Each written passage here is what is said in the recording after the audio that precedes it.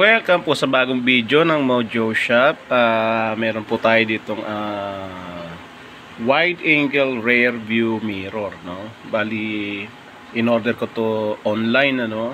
Ah, kano nga ba yung presyo nito? Nasa 200 plus, 280 yata, o basta. Uh, nagre-range siya ng almost 300, ganun ano. Plus yung ano, yung include na yung shipping fee ano? So ito na yon uh, inassemble ko na siya no?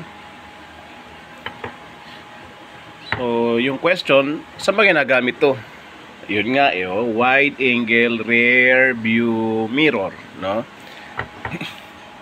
So ayan assemble ko na no?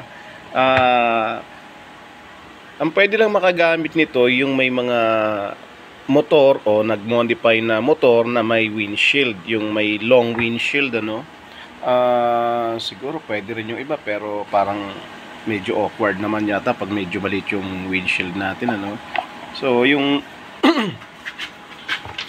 yung Yamaha SC ko ano bali minodify ko siya yung windshield ng NMAX no So, ito nakita ko lang din sa tropa, no? Uh, ginaya ko lang din kasi nagandahan ako eh. Pero yung ibang ano, uh, nasa inyo kung gusto rin gumaya pero So, ayan, papakita ko sa inyo ano. So, yan ang purpose niya no. Naka-wide siya. Bali, kita mo yung mukha mo, tapos kita mo rin yung both side nung uh, kaliwa or kanan mo. Uh, kaya maganda nito. Medyo ganyan o medyo taas. Bagay eh, na-adjust naman siya if ever na ano no? So yan yan. So diyan ko siya plano ilagay guys no? Parang maganda rin tignan. Kumbaga parang dagdag pogi points din eh no? So yan. So pag dito kaya sa bandang taas okay di naman siguro. Hmm, wala na. Sa ikaw no yung double double sided tape Ayan, yung dikit. Right, yeah.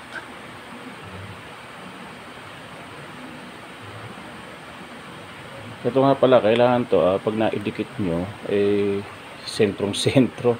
Kasi parang tingin ko sa tape na to, eh, parang napakahirap tanggalin pag, if, pag dumikit na siya, no? If ever na, na, i-fix natin siya.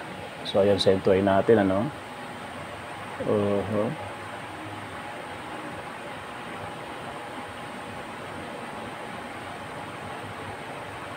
So, yan. Ah. ha? Pantay ba? Ako po. Niya. Wala ka dyan. Tabi nga. Yari ka bait. Mababari ito banda rito. Ayun, sinasabi ko. Ano nga siya, ma madikit. Tay tayo dyan. Ah. Ayan. So, hilot natin konti. Ayan. Ayan. So, ayan guys, na-install na natin.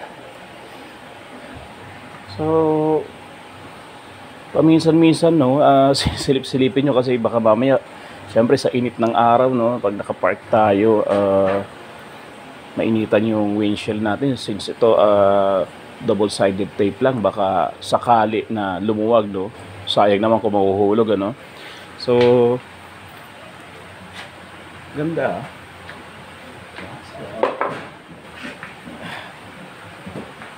silip-silip So, yun. Ba, kitang-kita yung kapugian natin pag meron ganito pala, no? Hindi natin konti. Yun, no?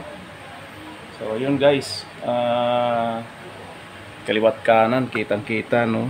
Kahit uh, hindi ka sumulyap dun sa side mirror mo, kita mo yung ano, no? Yung both side left and right, no?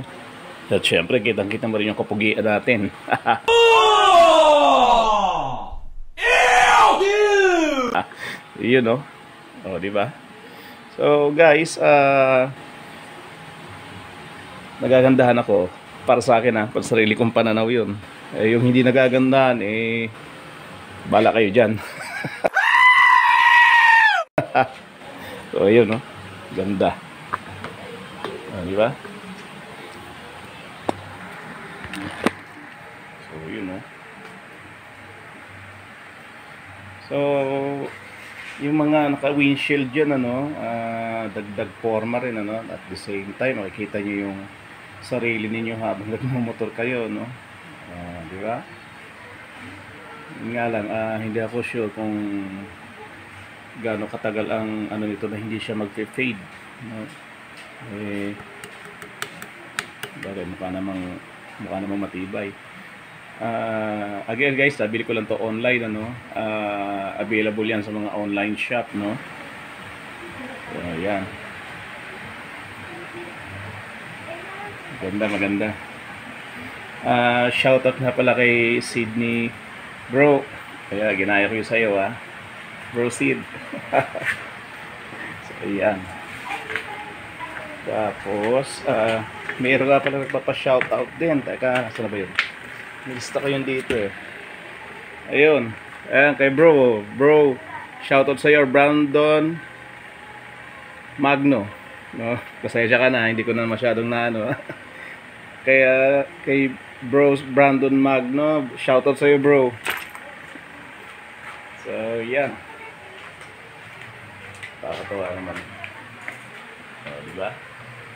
So, guys, uh, pag bago ako sa YouTube channel ko, don't forget to click subscribe and hit the notification bell para updated tayo sa latest video ng Mojo Shop. Thank you po ulit sa panonood and keep safe.